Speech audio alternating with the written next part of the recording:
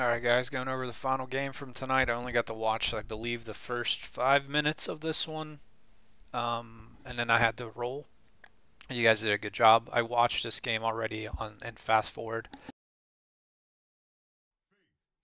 This is the game though I was referring to, Alex, where uh, you died at Kindred right after he ganked you um, because you don't have vision. And I know I know you wanted to try the Ghost Flash in this um, game, which I'm perfectly fine with. Um, it's still more beneficial for the team overall if you do bring teleport.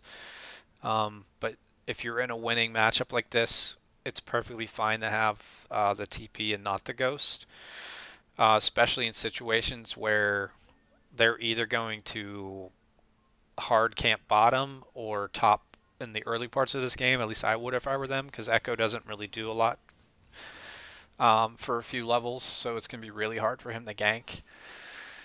Especially someone like Orianna who can stay relatively safe and has shields and barrier. So we'll, when we get to that, I'll, I'll, point it out. But good job tonight, Central 2, not um, starting on the bottom side as much. Um, we don't have to do it every game, but it's just something that needs to be part of your repertoire where we can have. Um, sorry, I want to go back and look at something real fast.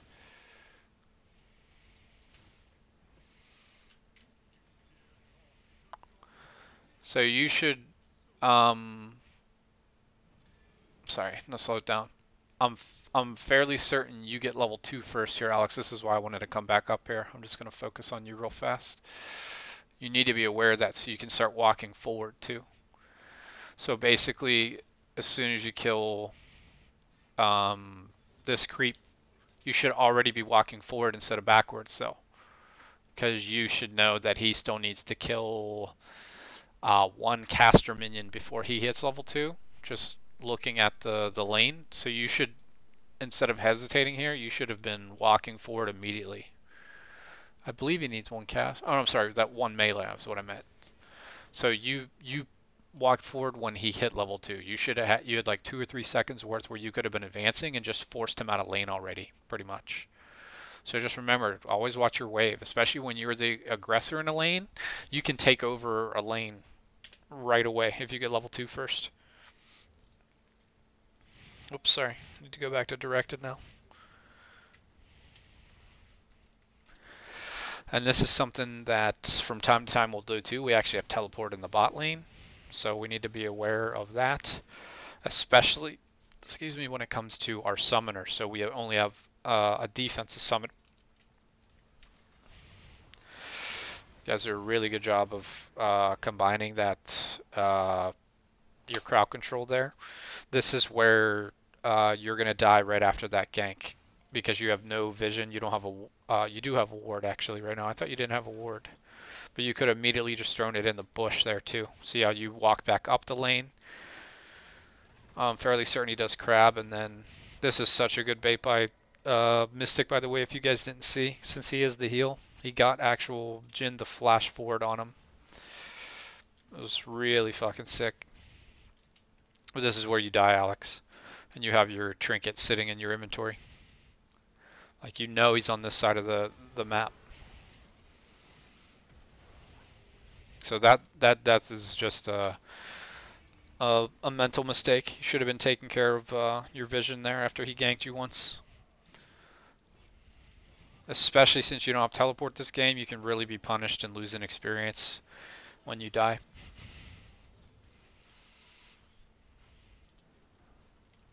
So again, this is a good, really good job by uh, Central coming back here. We know that they don't have flash at all, and you guys are in lane, so the timing of this is perfect.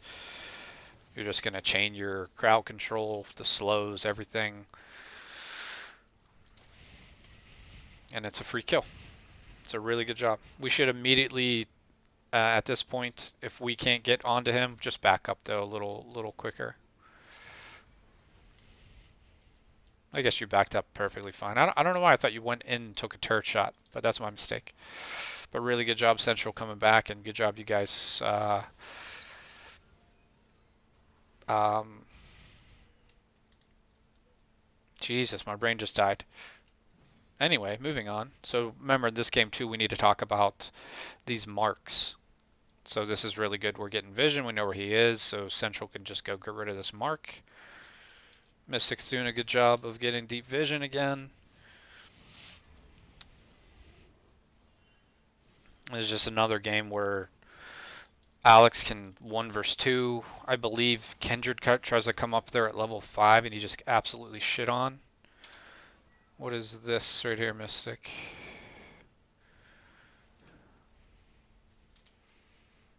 Okay. The waves all the way back here. I know you guys are stronger right now, but there's no reason to risk going through this, especially for someone with crowd control. And you know where Kindred is too. He's on your side of the map. So you'd never run through this way. That's just silly. Like I know you end up getting a summer out of it, but they have control of the, the, the lane right now. Because you don't have heal and we don't have another defensive summoner or an offensive summoner. Just gotta be safer with that stuff. So again, we're communicating. So this game's different because we're starting on the opposite side of buffs. So second buffs are coming up. We don't have priority uh, in the bot lane, so it's harder for us to invade that. So we should be looking to. Uh, we should start talking about invading for their their second red buff in this situation because we have priority in uh, top lane and or uh, Grant is perfectly fine to roam. So that's just part of the communication we need to be looking at. So game specific. See Central's going in there. He's doing great. He's just looking for getting some vision, which he does. I don't think that camp was there, but maybe I'm wrong. I think you were looking to burrow, but now you're denying camp. See, this is really good. And now their second buff's coming up. Central, you're doing a fucking great job tonight on, on this kind of stuff. You see that there's camps back up too, and you're just going to take it. You are a really good job with the invading tonight. Now your buff's up as well. Communication of where we're going is important. So good job of you guys uh, switching focus right away. That was excellent. So now this should be you guys shoving this wave together and then invading his red buff right now. I know he doesn't have a lot of mana, uh, Grant doesn't, but you're more than healthy and the Kindred's dead. This should absolutely be the play right now. Uh, or you could do Dragon, I guess, too. Maybe that's what you guys end up doing. Remember, I didn't see this part of the game, uh, except for in that fast forward, but you should be shoving this wave and then invading red. So just push the wave. Good job. It looks like what you're, what you're going to do.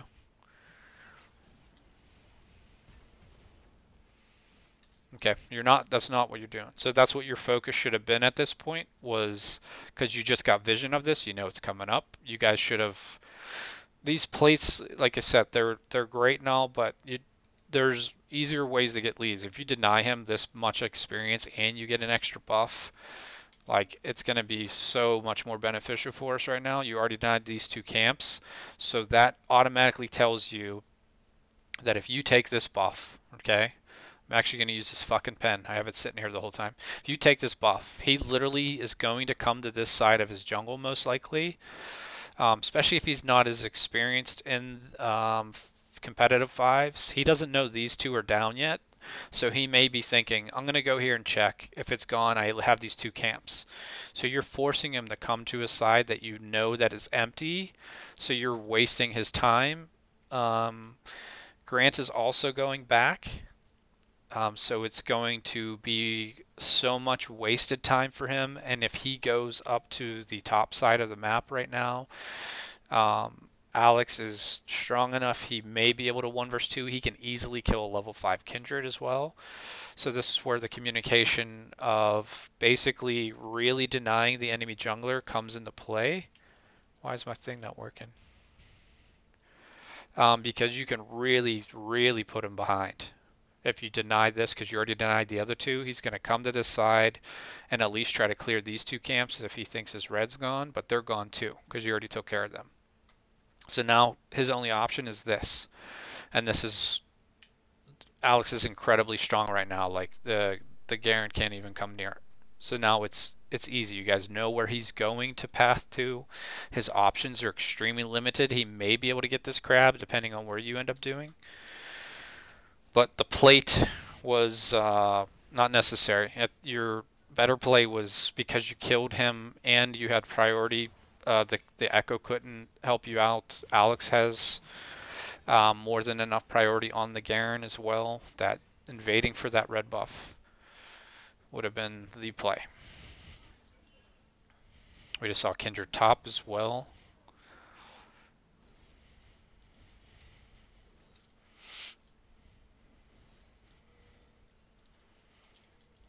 They have good vision of us down there, so they know where you're at right now.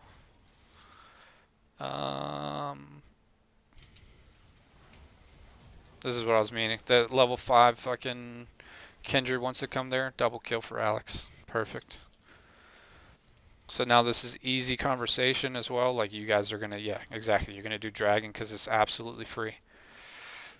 And then it immediately can turn into your. So you do dragon, you should immediately be either running topside or you should be recalling for literally three reasons right now. You should be, or four reasons. One, you're spending your gold. Two, there's a mark on that side. Blue buff's there. Herald's there. If they force onto you guys top side right now, you're going to fucking smash them. And on top of that, we'll throw a fifth one in there. We have teleport on our AD carry. So worst case scenario, you could fucking TP up there. So this is great. You're wanting to deny him there, but you should be recalling, especially with all this gold. And then these three fucking targets. 100%.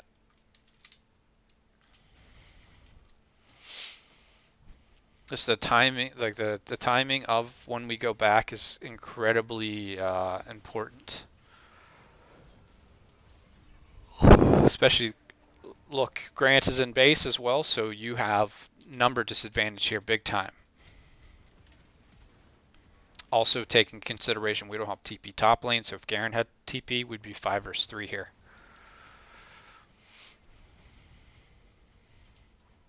So your back timing just should have been a, a lot quicker because you could transition to the top side and take care of stuff, especially since you know the timing of these camps uh, since you're the one that cleared them. So if he ends up showing bottom like this, then you can literally go blue, mark, herald, camps.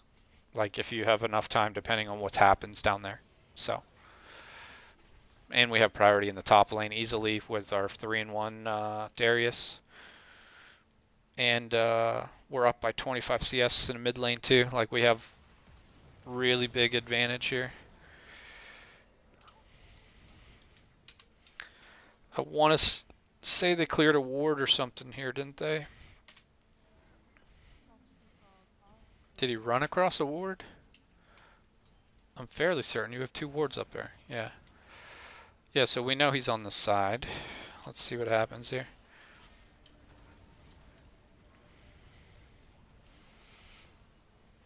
Yeah, so you guys know it. No Kindred's on your side of the map. You guys should just be trying to. I I I was gonna say hard shove and get out of there, but I don't even know if you have time.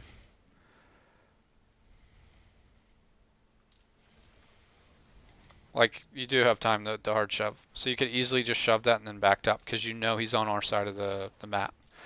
And look at your mini map, same thing we always talk about. Central's going to the other side. We don't have TP anywhere. We should be just being cautious here.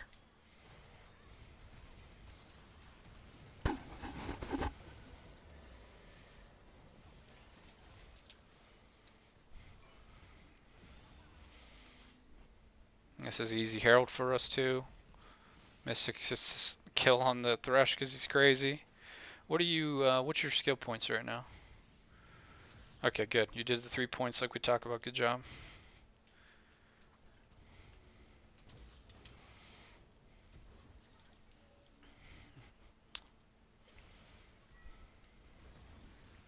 Good job, you two. That was a, I think that was the right order too, uh, Central um, because you can, yeah, you can easily come back to your side of the map because you already have vision, so you can deny him a lot here. This is really good. So now we have really good vision of the river, some decent vision on the bottom side. Our strongest point in the map, all three of the lanes are actually pretty strong right now. So you have the pick of the litter of what side you guys would want to focus, especially since we have Herald. But we always have to uh, remind ourselves of the TP disadvantage that our team has in this game. So we need to just be extra careful. We need Mystic to get his uh, upgrade too so we can start warding. Like this is the stuff you should be communicating to Alex. Any of you, anytime you get in a matchup like this where you're just dominating them, we don't ever want to talk about like if if you think someone's a bad player or whatever, you should just be talking about I can one versus two at this point. Um, or just say my lane opponent, you can call their name out. Garen cannot stay in lane with me at this point, so I'm going to cause a lot of attention. Um, so you guys can play around that. You can either play to counter gank um, to help Alex out, or just heavily stack another side and make a big play, where you have the numbers advantage. It's just either either one's perfectly fine. Really good job again working together there.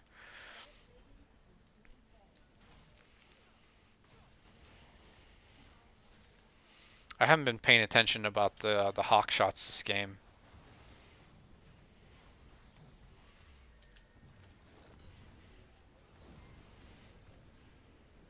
I actually really do. I was telling Mystic, I actually like uh, Ashe when we pick carry, really uh, like carry oriented, like jungler and one other lane, mid or top, because it just adds so much. You guys are really good there. You get all four of these, don't you?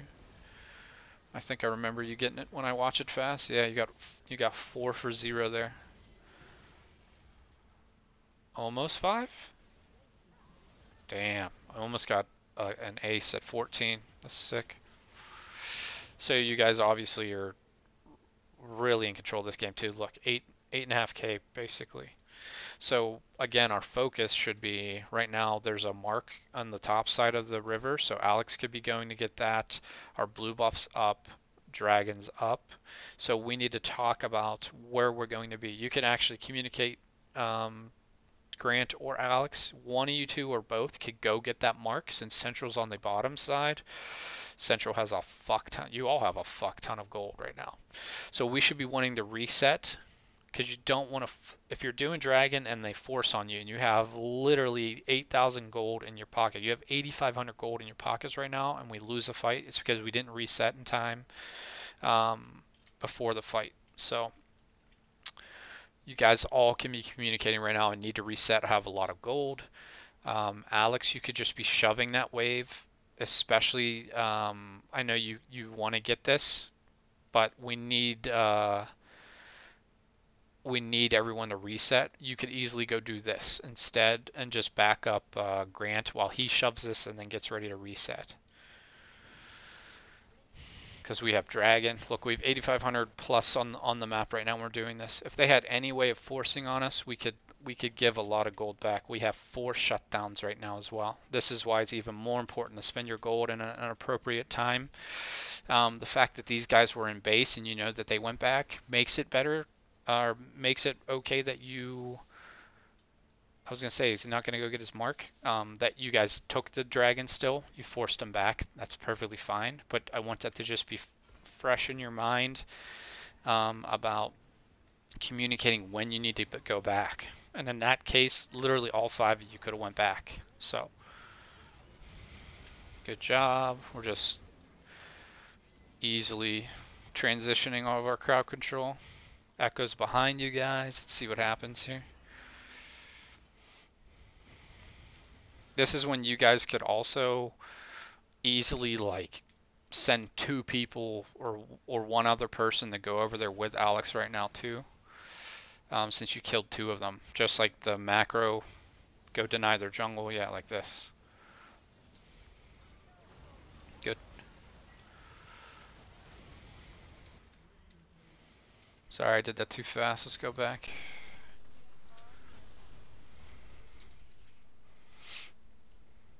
But they have really good vision right now. If you actually look at the map, their whole bottom side's really, they have really good vision. So this is no sweeper on um, on either one of you, which is a mistake right now. Mystic and Central, 16 and a half minutes. We need we need both of you to have sweeper by now. That's why their vision is so strong on the left and uh, our side of the river. Again, this is communication too. Like you guys could be um, just asking asking about all uh, cooldowns right now while you're doing this. The turret's at half, okay. And again, like in this uh, instance, you guys like Mystic did a good job doing his empowered uh, shield here, so we all got a big boost. Central could be the one grabbing the turret aggro first because he has his, his ultimate. Same thing with the Elise. So you guys could be communicating that, like I'm going to take turret aggro first because I have this. And now we got the good good job by uh, Central knowing we were going to push mid heavy and dropped um, the Herald bottom side to go with probably our strongest. One of our, you're all really strong, so it was a really good job.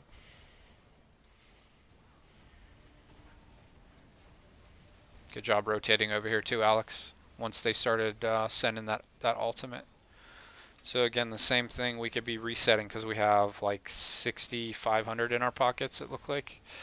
So resetting, we don't have to force to get that turret. It's really low, but we don't have to force. We can literally, their whole blue side jungle, you guys a great job with vision now. We know their blue buffs coming up. We just go take the blue, then go push. Um, like everything on the bottom side's coming up. Our red red buff, their blue buff.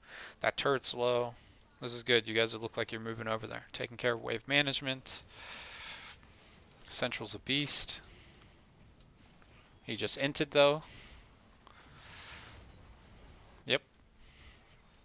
Little little bit of cockiness there. Their blue buff's up. We should be taking their blue buff. There you go. Grant's taking it.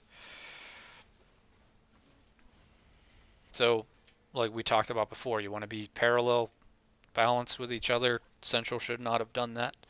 Luckily, you guys have a massive lead, so it's um, they still are going to have a hard time coming in five versus four and fighting us because of how strong Alex is on our front line. So we're denying two two camps so far, maybe even a third.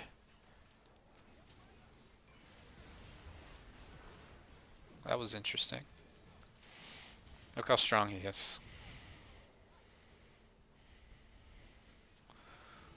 So yeah, he literally is a monster. One verse three there, and you guys get Baron off of that for free. Good job rotating over there. Yep, top. Deny. Good job.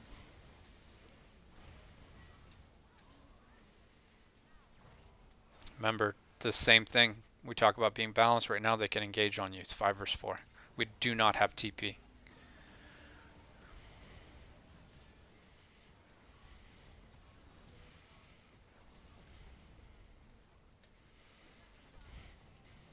So now we're balanced again. So now this is easy because now they have to send someone over to him and the supers mid lane. So you can literally just chill out and let uh, Alex do his thing and the supers. This is all free. Central going ham again here.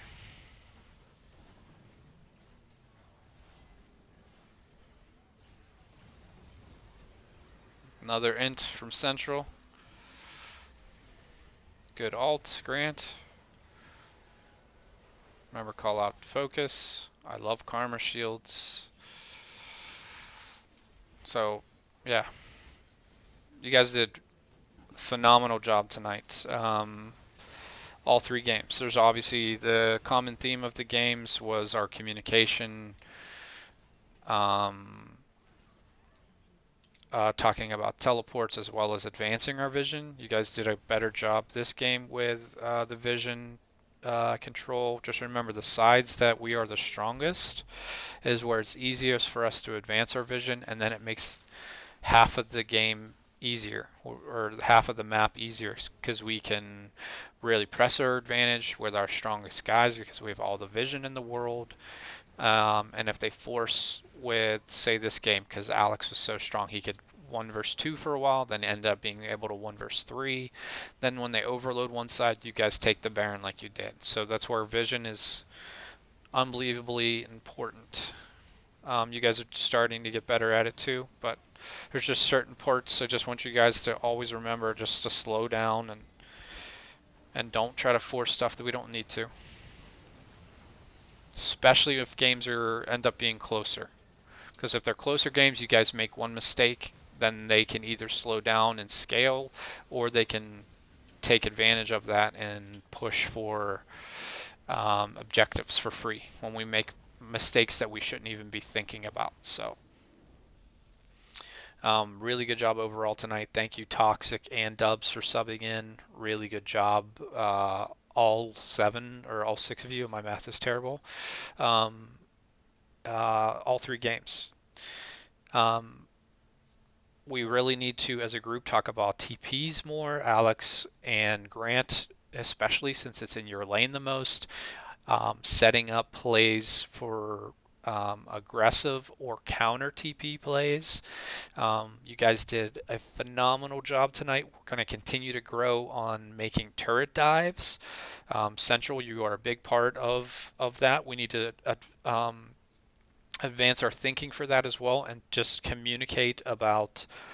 I'm going to take um, turret aggro. I have turret aggro. I'm I'm leaving turret aggro as the the part's going on. So the people who are part of that are aware, so we're not blowing summoners for no reason, or we know that it's going to switch, so we may need to bail out on it, or just switch up how we're going to continue with the dive.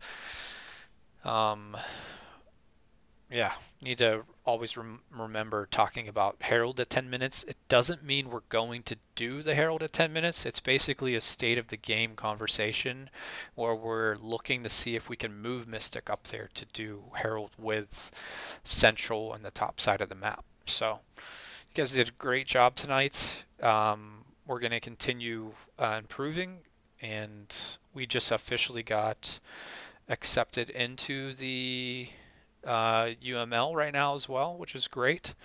So now the next one is we're just going to be waiting for um, Darkstar to announce their next season so we can um, apply for that, get entered into that, and then we're going to start moving with our goals. So really good job tonight, guys.